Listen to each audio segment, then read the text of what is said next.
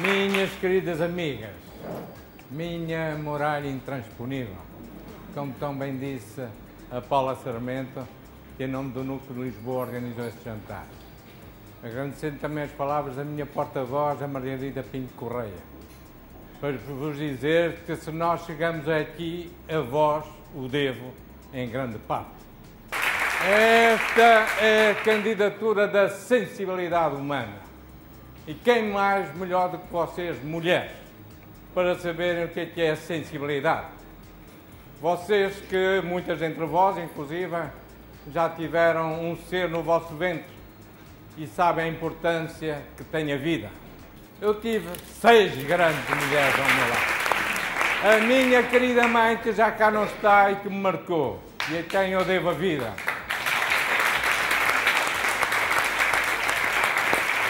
A minha mulher, já aqui referida, a minha irmã Leonor, que está a alguns naquela mesa, e as minhas três filhas. Posso-vos prometer que comigo em Belém, nunca como antes, haverá tantas mulheres em Belém. Eu continuo em frente, porque este é o meu destino e este destino não o dou a mais ninguém. Este é o meu destino.